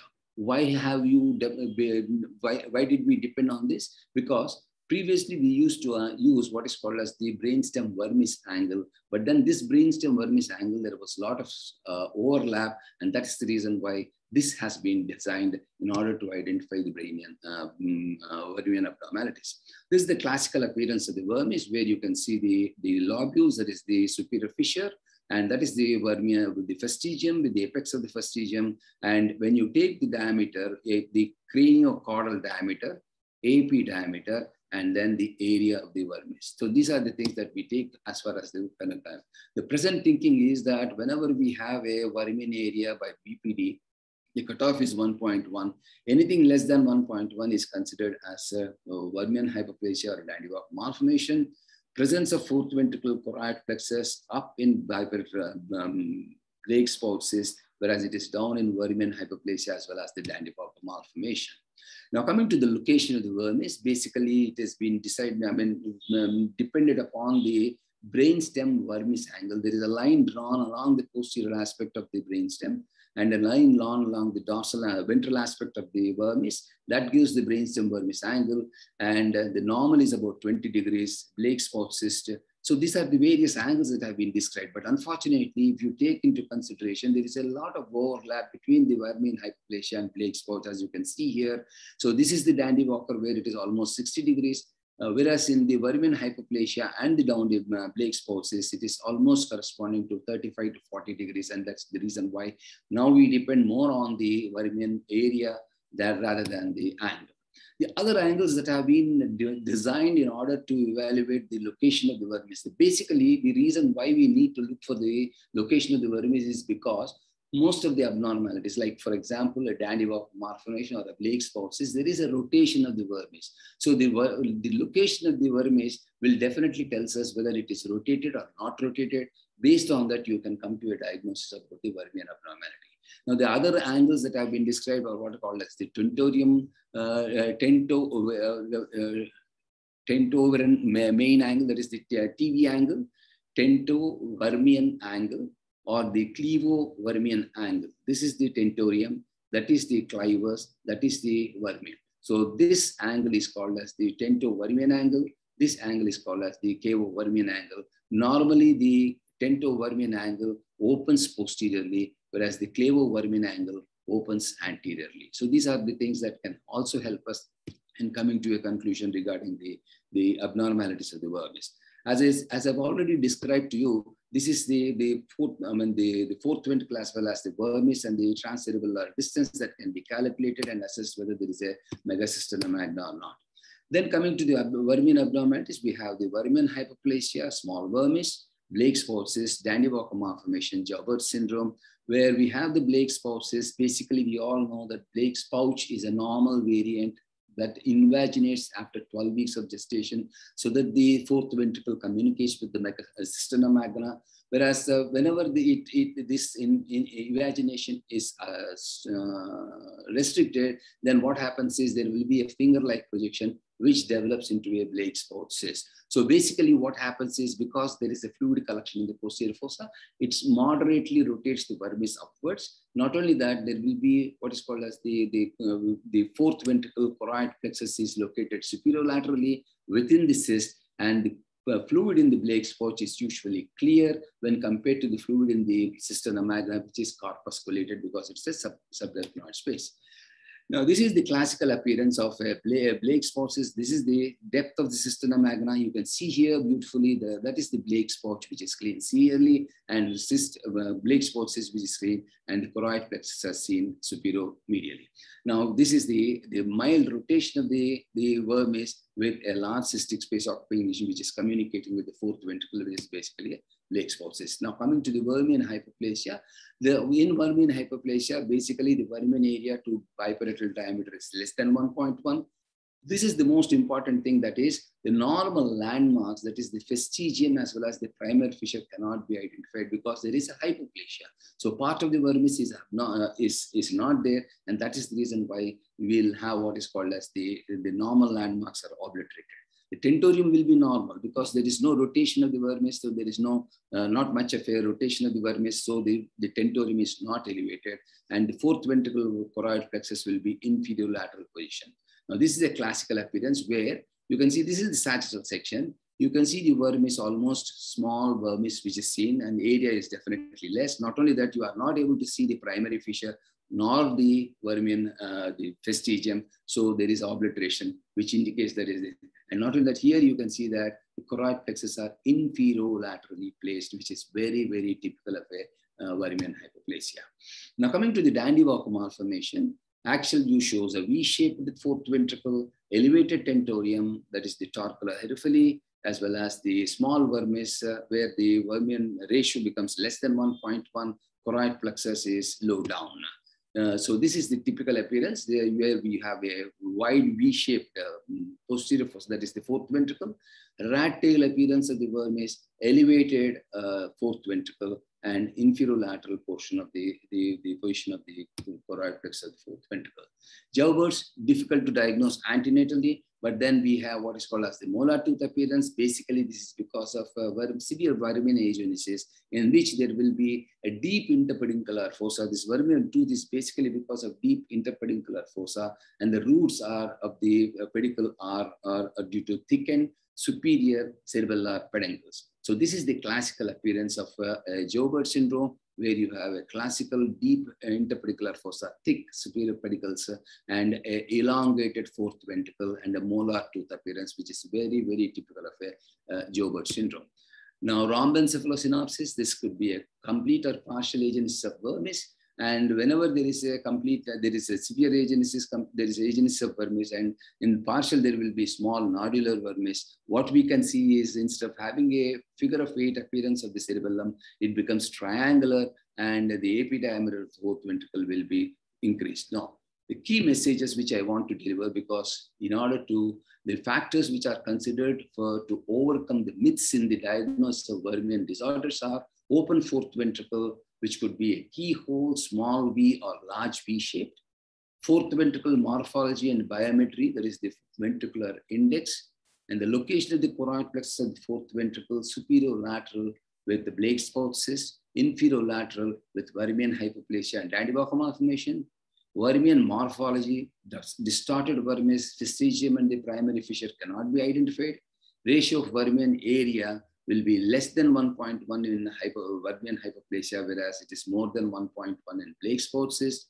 Location of the vermis rotated in Blake's pouch as well as the vermian hypoplasia and elevated tentorium in Dandy-Walker malformation. I think these are the factors which we need to concentrate. And these factors are the ones which are going to answer our six questions, which I have posted at the beginning of the talk, which helps us to break the myth and identify Vermian disorders.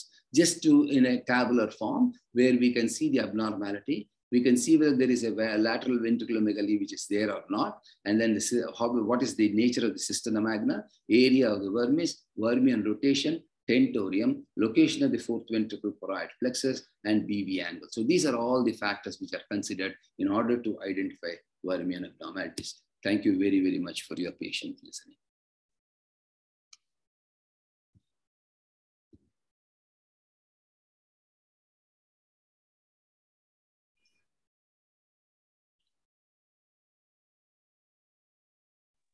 Uh, Subraj sir, please unmute yourself, sir. Uh, thank you, Dr. Praveen, for your lucid presentation. So you can go for the chat box for any questions.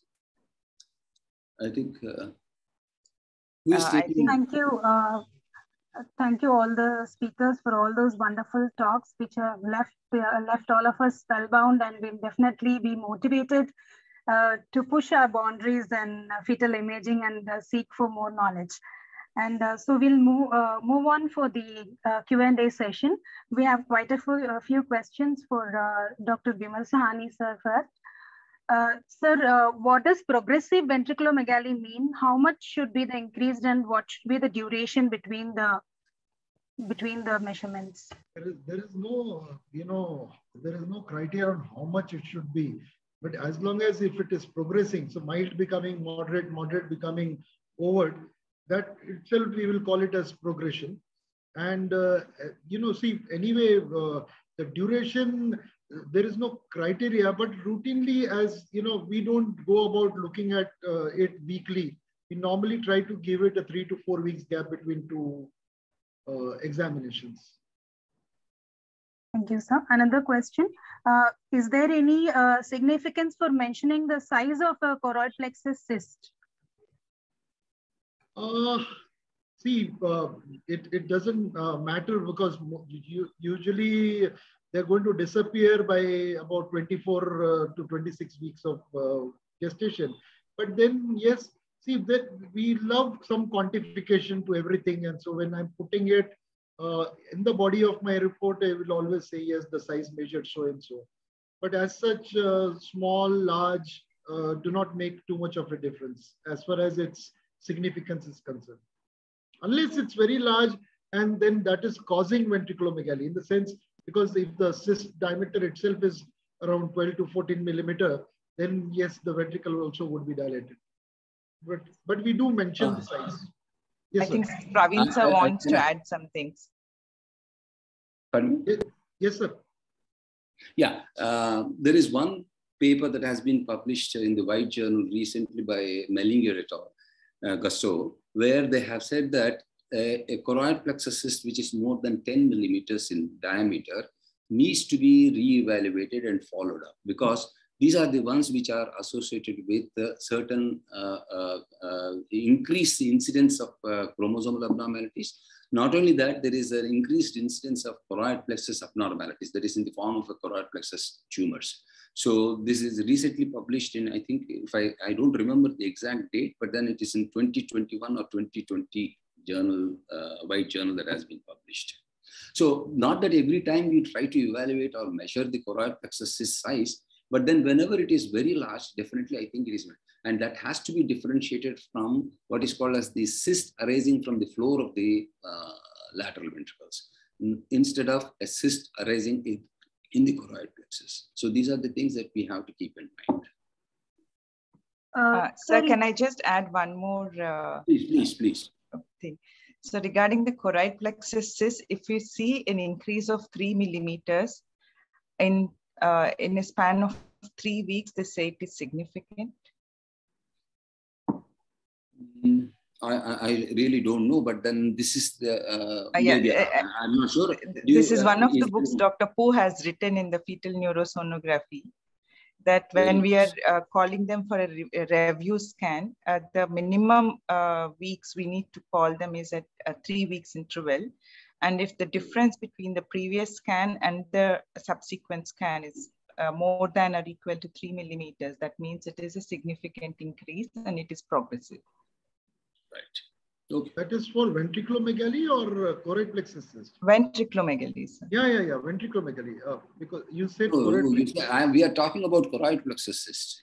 Yes, sir. Yes, sir. I, I, I, I'm just uh, Yeah, the, yeah, the, yeah. the other question. The audience should take a proper message. Uh, Yeah, yeah, and the. Because choroid choroid plexus plexus cyst- cyst, if we see, we don't ask for a, you know, especially if they're less than 10 millimeter, we do, normally do not ask for a review for Yes. a re-measurement of it. That's that's That's right. what I said. Three three weeks is the minimum that you need to give between two examinations to look for any progression in ventriculomegaly. So can you please demonstrate the location of choroid plexus in the posterior fossa anomalies? The images you used were axial images. How to label superolateral and inferolateral in axial planes, sir?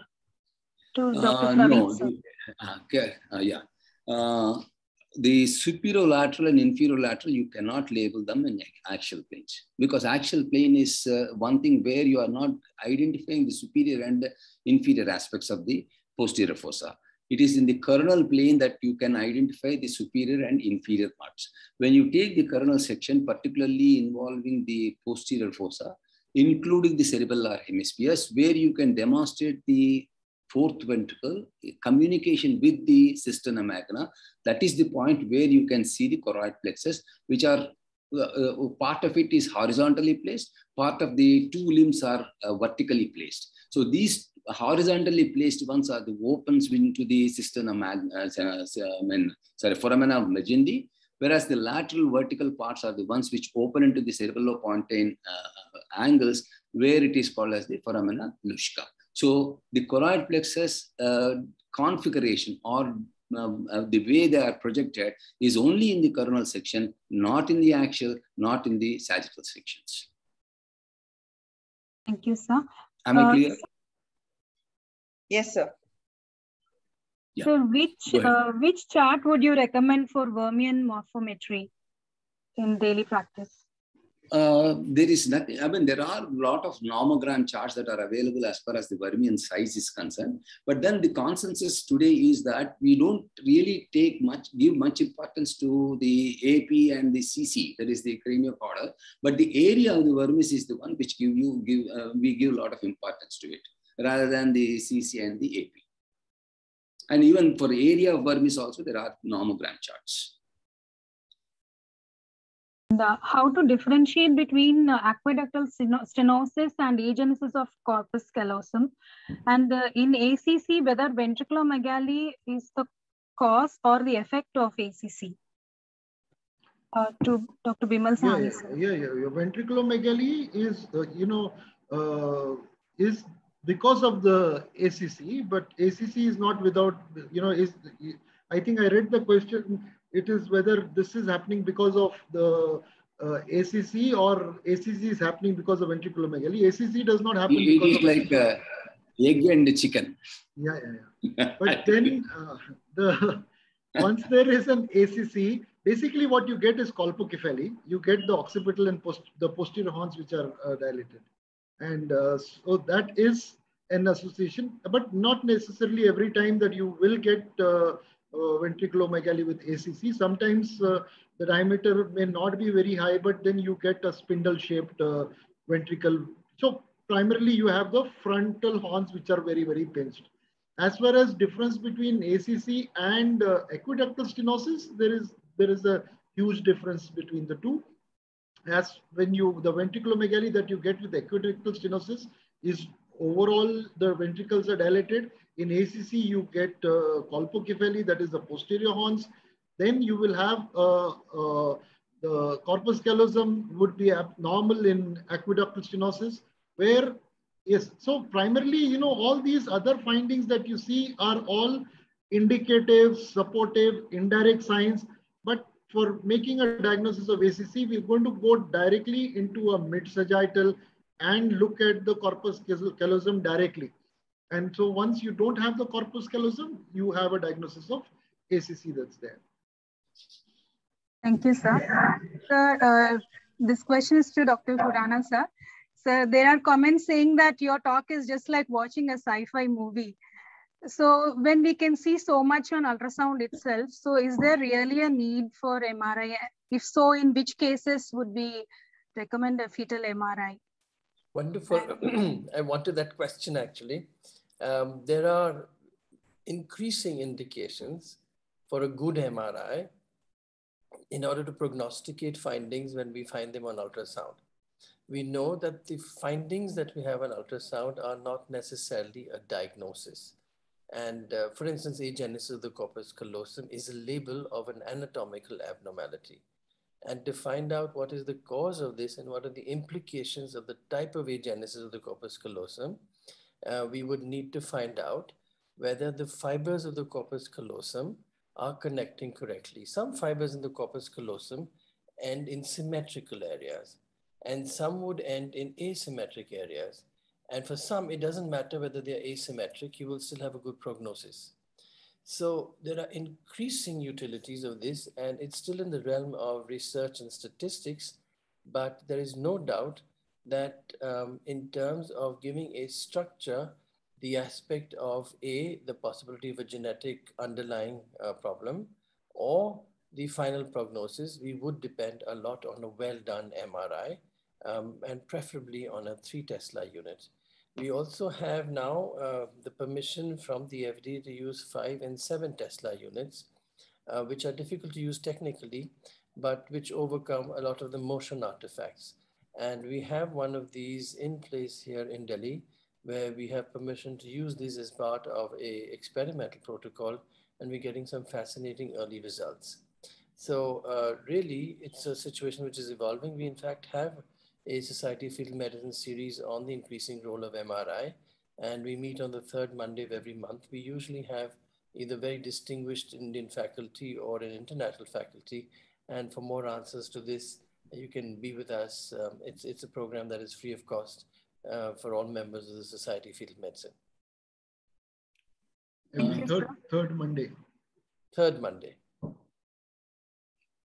Thank you, sir.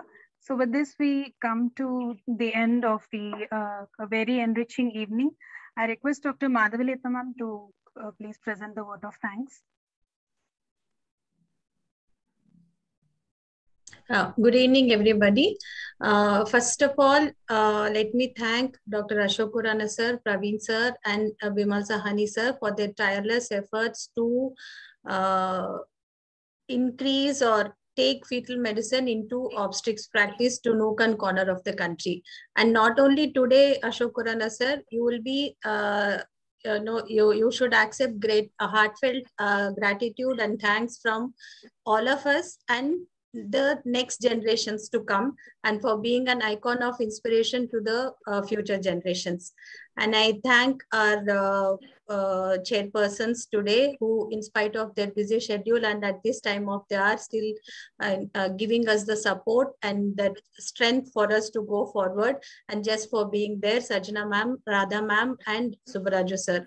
And I thank the trade partners for being uh, for making this uh, program uh, go uh, so well, and thank uh, Dr. Sridevi for taking the initiative. And it's a, such a big responsibility to uh, even have the thought of I know, okay, we can do this and have a chapter and uh, make so many people uh, stay together in one place. And uh, thank you, uh, Mr. Vishal. I feel he's like Pujari of a temple of Society of Fetal Medicine, where he is the access to access to the gods who are present in this in this society. And thank you, Vishal, for being there uh, for any for every small thing and for every small meeting. And last but not the least, the audience. Uh, more than I think uh, more than 250 uh, have been uh, present and have made this uh, uh, meeting very interactive session. And once again, thank you Ashok sir for establishing a platform like this where fetal medicine has become and now everybody knows about fetal medicine. Even today, actually, there are some super specialists who don't know what fetal medicine is, but still, I'm sure uh, uh, practicing obstetricians and it has come to the software people and even lay people are knowing, watching videos on uh, fetal reductions, etc. and coming to us. Thank you, sir. Thank you very much. Thank you and congratulations Thank to you. all of you for organizing the program today. Congratulations. And, and, and all so the thank you once again for giving us your, your valuable time on a working day, sir, and being with us so late in the night. Thank you so much. Thank you indeed.